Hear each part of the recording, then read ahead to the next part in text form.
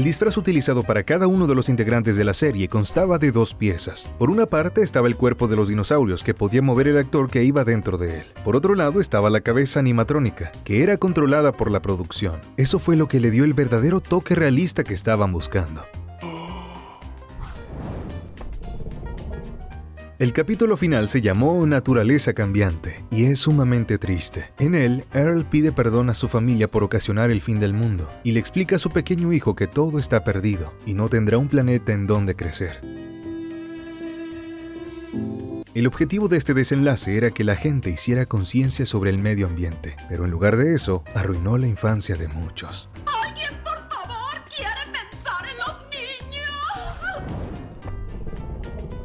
Cada vez que Earl caminaba, lo hacía hablando o cantando. Esto lo hacía a propósito el actor que iba dentro del traje, pues la única forma de ver por dónde iba era si el dinosaurio tenía la boca abierta.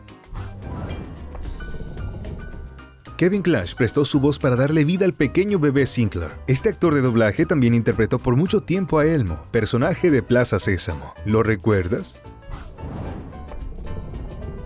La mayoría de los dinosaurios tienen un nombre alusivo a compañías petroleras de origen estadounidense como Sinclair, Richfield, Phillips y Hess. Esto debido a que los restos de muchos dinosaurios se convirtieron en componentes del petróleo. De hecho, la compañía petrolera Sinclair utiliza un dinosaurio como su logo principal.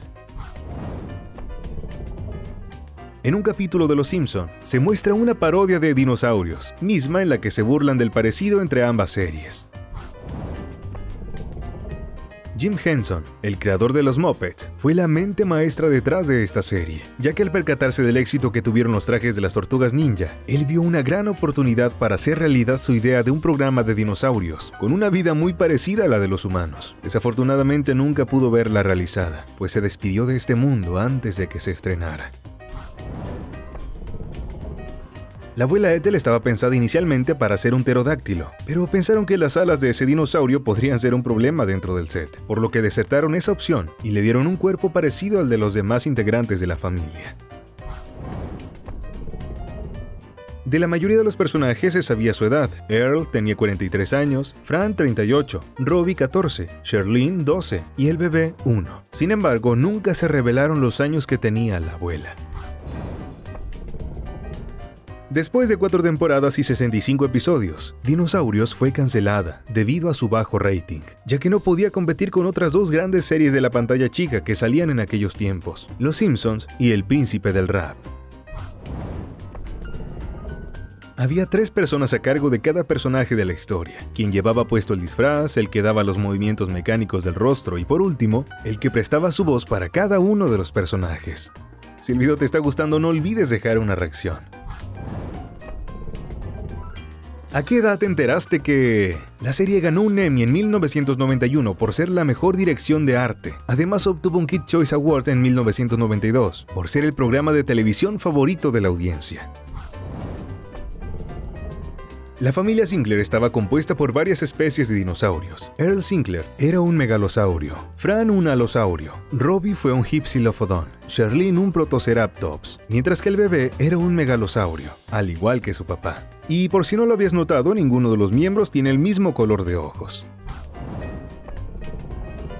La famosa cadena de hamburguesas McDonald's lanzó una cajita feliz con juguetes de los protagonistas del show. ¿Tuviste alguno? Se tenía pensado realizar una película de dinosaurios para el año 1994, pero lamentablemente tuvo que cancelarse por la baja audiencia que comenzaba a tener la serie. En uno de los capítulos aparece una banda llamada Lizard Skizad. Pocos lo saben, pero se trata de una referencia al grupo de rock estadounidense Lynyrd Skinner. ¿A los cuántos años te enteraste que el programa tiene un álbum musical llamado Big Son, conocido en América Latina como Canción Sotas? ¿Cómo olvidar la canción del nene consentido?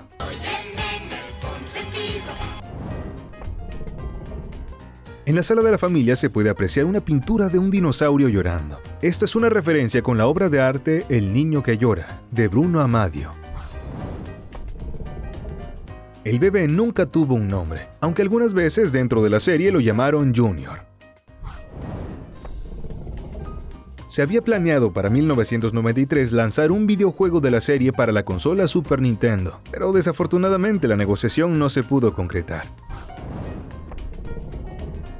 Según la historia, los dinosaurios empezaron a formarse en el periodo Paleozoico, pero fue hasta el Mesozoico cuando dominaron la Tierra. Es por ello que la serie está ambientada en el año 60 millones antes de Cristo, justo cuando aún existía la Pangea.